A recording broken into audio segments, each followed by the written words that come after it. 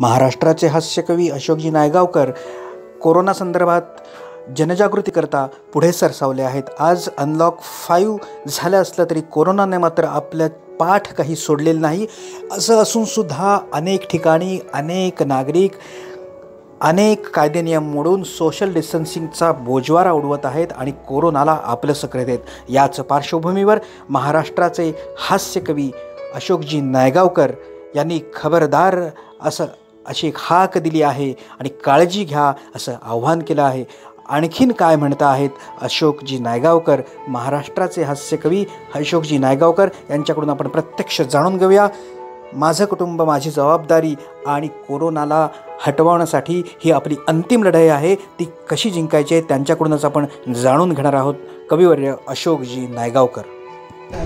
नमस्कार. महाराष्ट्र शासनाचा माझे कुटुंब माझी जबाबदारी.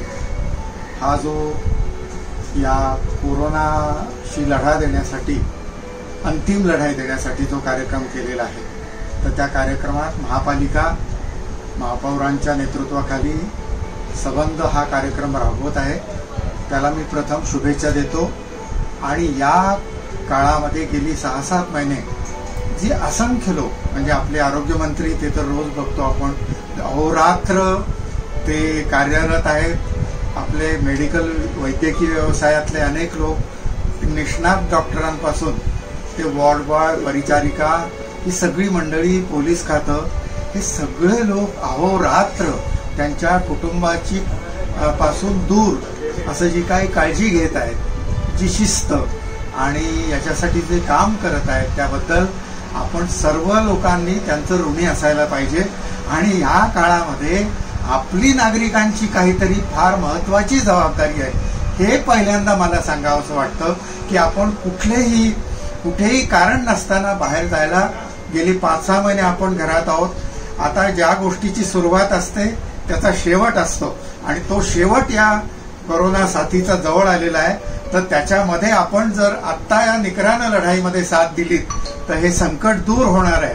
तेव्हा आपण काहीही कारण नसताना घराबाहेर पडायला नको एकमेकांमध्ये अंतर ठेवूया. त्यानंतर कुठेही गर्दीच्या ठिकाणी गर्दी करायची नाही कुठेही.